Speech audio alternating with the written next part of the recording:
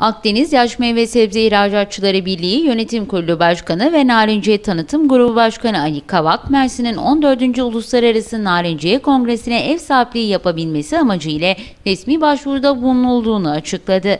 2020 yılında gerçekleştirilecek 14. Uluslararası Narenciye Kongresi'nin Mersin'de yapılması için girişimlerde bulunmak üzere bir heyetin 18-23 Kasım 2012 tarihlerinde İspanya'nın Valencia şehrinde gerçekleştirilecek olan 12. Uluslararası Narenciye Kongresi'ne katılacağını belirten Akdeniz Yaş Meyve Sebze İhracatçıları Birliği Yönetim Kurulu Başkanı ve Narenciye Tanıtım Grubu Başkanı Ali Kavak, heyet içerisinde Türkiye Yaş Meyve Sebze İhracatçıları Birlikleri Sektör Kurulu Başkanı Kemal Kaçmaz, İstanbul Yaş Meyve Sebze İhracatçıları Birliği Yönetim Kurulu Başkanı Latif Ünal, Ekonomi Bakanlığı'ndan İhracat Genel Müdür Yardımcısı Salih Çiçek ve Akdeniz İhracatçı Birlikleri Genel Sekreteri İsmail Çetin'in yer aldığını kaydetti.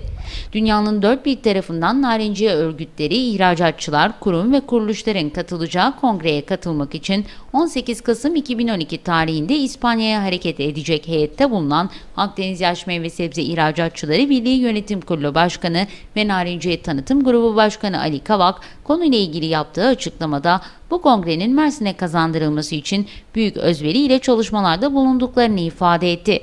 Uluslararası Narenciye Kongresi'nin her 4 yılda bir düzenlendiğini belirten Kavak, bu yıl İspanya'nın Valencia şehrinde gerçekleştirilecek kongre 2016 yılında Brezilya'da yapılacak. Biz ise 2020 yılında bu kongreye ev sahipliği yapmak için girişimde bulunuyoruz dedi. Bu yıl İspanya'nın Valencia şehrinde yapılacak kongrede diğer aday ülkeler ve şehirlerle yarışacakları bilgisini veren Akdeniz Yaş Sebze Meyve İhracatçıları Birliği Yönetim Kurulu Başkanı ve Narenciye Tanıtım Grubu Başkanı Ali Kavak, kongrede Uluslararası Narenciye Kongresi'nin neden Mersin ve Türkiye'de yapılması gerektiği ile ilgili seçici komiteye sunum yapacağız. Diğer şehirlerinde sunumlarının bitimiyle seçici komite kongrenin 2020 yılında hangi şehirde yapılacağına karar verecek.